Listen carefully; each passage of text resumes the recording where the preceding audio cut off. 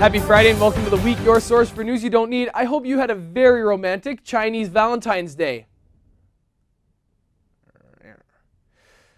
One man in Beijing has taken his standard of living to an entirely different level, literally. A medicine mogul in the Chinese capital has been under fire for a construction project that has taken him several years to complete. He thought he could build his 8,600 square foot dream villa on top of the apartment building. So you see it there. This is in Beijing. He spent years building it, brought in boulders to make it look like a mountain retreat. The problem? It violates virtually every city ordinance possible. This story has deep undertones of rich people always getting their way in China, but most of the complaints have actually been about the noise. The guy's apparently a party animal, and can you blame him? Let's be honest, that setup is pretty cool.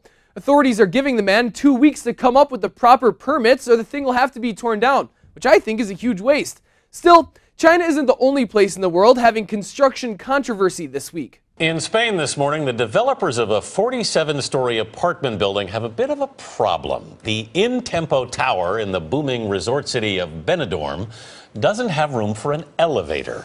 The building was supposed to be 20 stories tall. When the architects made it bigger, they forgot to adjust the elevator plans. So, Europe's tallest residential building has no working elevator to the top. Either the architects of this building are trying very hard to promote leg strength, or they've seen too many videos like this one.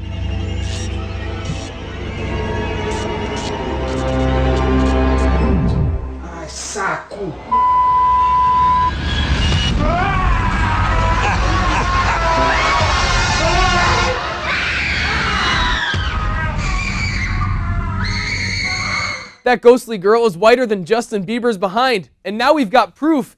TMZ released some interesting photos of the pop star at his grandmother's house celebrating Canadian Thanksgiving last year.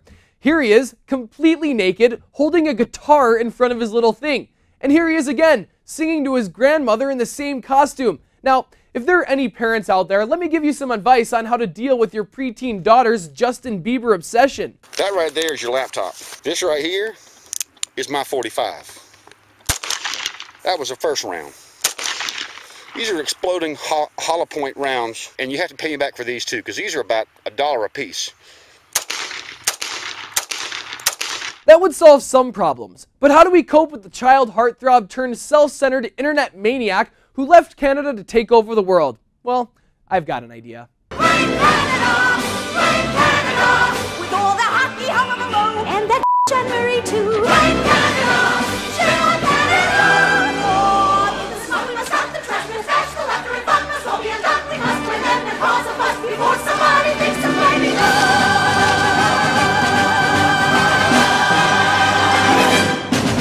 Just south of the border in the US this week, discussions have grown over a proposed transportation vehicle that could change the industry forever. It's called the Hyperloop. It's described as a city to city solar powered elevated transit system that would travel along the I 5 and I 580 at speeds of up to 760 miles per hour. Each aluminum capsule enclosed in steel tubes would hold 28 people, and, like on an airplane, passengers would be allowed to take a few bags with them. That's cool, although there are a few problems. Number one, the space for passengers to sit is smaller than an economy seat on an airplane. The second, most experts say the project will cost much more than the $6 billion originally planned. I think the real problem comes though when the average person is moving at speeds of more than 1,100 kilometers per hour in a super small space. Because here's what it would look like. Stay tight, stay tight, stay tight, stay tight. Will, sit up. I'm up. Sit up. I'm up. You're up. Put your head up. It is up. Put your head up. Oh, I'm gonna vomit. Okay, get the bag.